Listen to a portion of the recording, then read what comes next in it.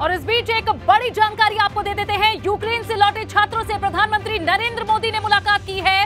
वाराणसी में पीएम मोदी ने वतन लौटे छात्रों से मुलाकात की है। प्रधानमंत्री नरेंद्र मोदी चुनाव प्रचार के लिए वाराणसी में है और इस बीच जो छात्र पहुँचे हैं यूक्रेन से भारत, उनसे पीएम मोदी ने ये खास मुलाकात की है। यूक्रेन से जहाँ कई छात्र लगातार ऑपरेशन गंगा के तहत देश वापस लाए जा रहे हैं और बनारस में पीएम मोदी ने इन छात्रों से मुलाकात की और छात्रों का हाल जाना है जाना है, समझा है उनसे कि किस तरह के हालातों से वे आए हैं। बनारस में पीएम मोदी इस वक्त मौजूद हैं और जो वतन लौटे छात्र हैं, आप ये तस्वीर देखिए।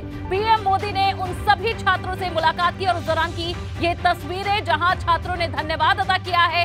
सरकार का, विदेश मंत्रालय का जिस तरह से ऑपरेशन चलाया जा रहा है और प्रधानमंत्री की ओर से साफ़ कह दिया गया है, जब तक सभी छात्र वतन वापस नहीं आ जाते, ये ऑपरेशन गंगा जारी रहेगा। खास तस्वीरें वाराणसी से आपको दिखा रहे हैं, जहाँ छात्रों से मुलाकात पीएम मोदी ने की है। ये वही छात्र हैं जो यूक्रेन में फंसे हुए थे मेडिकल इंजीनियरिंग की पढ़ाई करने के लिए, जो छात्र पहुँचे हुए थे यूक्रेन में। उन्हें भारत वापस लाया जा रहा है, जिस तरह से रूस लगातार यूक्रेन पर हमला कर रहा है। ऐसे में भारतीय छात्रों की सुरक्षा प्राथमिकता है। हिंदुस्तान की और प्रधानमंत्री मोदी ने खास मुलाकात भी उन तमाम छात्रों से की है, जिन्हें लाया गया है वतन वापस। वाराणसी की ये तस्वीर, जहाँ पीएम मोदी ने प्रचार तो किया ही है, लेकिन इस बीच उन छात्रों से भी मुलाकात की, उनका भी हाल जाना है, जो यूक्रेन में विषम परिस्थितियों में रह रहे थे। लेकिन विदेश मंत्रालय के इस बड़े ऑपरेशन के तहत उन्हें वापस भारत लाया गया है, और इसी बीच भारत पहुँचे इन छात्रों से। पीएम मोदी की एक खास मुलाकात है, दो तस्वीरें आपको दिखा रहे हैं, जहाँ पीएम ने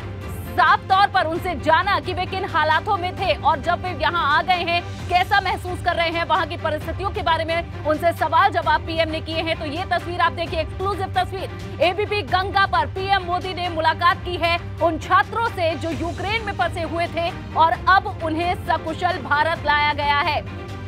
आपको बता दें कि पीएम की अध्यक्षता में जो बैठक हुई थी, चार केंद्रीय मंत्री भी इस ऑपरेशन में लगाए गए हैं, जो बाकी के देशों में मौजूद हैं जो यूक्रेन की सीमा से लगते हैं और वहीं से इन छात्रों से लगातार संपर्क साधकर उन्हें वापस भारत लाया जा रहा है।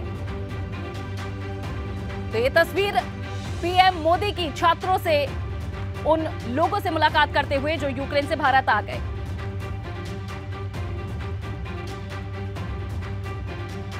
और अब लौटते हैं चुनावों पर। इस वक्त की बड़ी खबर